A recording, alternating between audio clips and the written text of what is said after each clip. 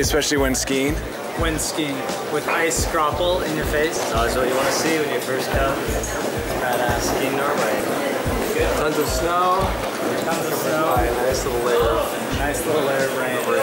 It's a perfect combination.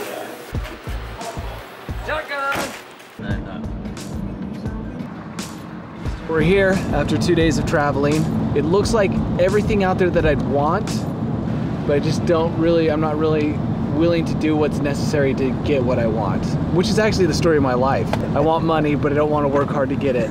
I want to ski these slopes, but I don't want to have to go through the layer of rain.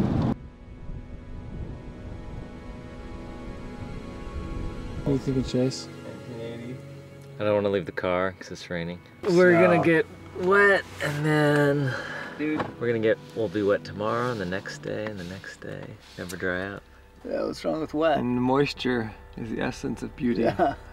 no i think we ski i'm just like putting it off because we got fun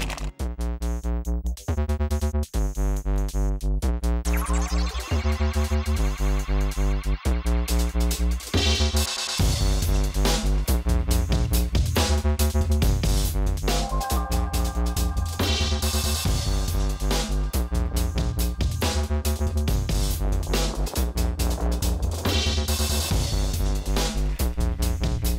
visibility's gone to crap. Now we go down because we can't see anything. And going down is going to be just great, isn't it? Fantastic. Come look at what you can see. Look at the depth percent. The the goal is just not to fly off a cliff. Yeah. Unless you've got your GoPro on, and then you send that in to Jerry of the day.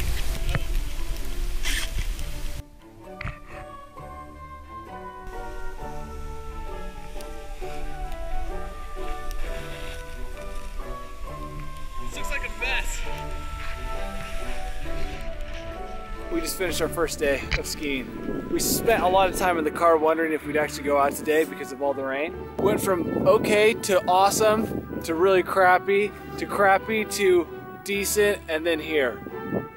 So I think that averages out to an okay all around. You get up to like a thousand feet and it feels like you're it'd be like it feels like ten thousand feet at home. It's everything I dreamt I dreamt it would be with some suckiness.